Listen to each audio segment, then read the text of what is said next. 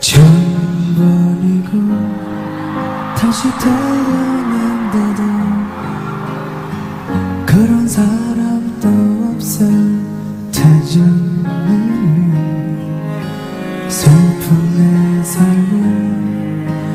的。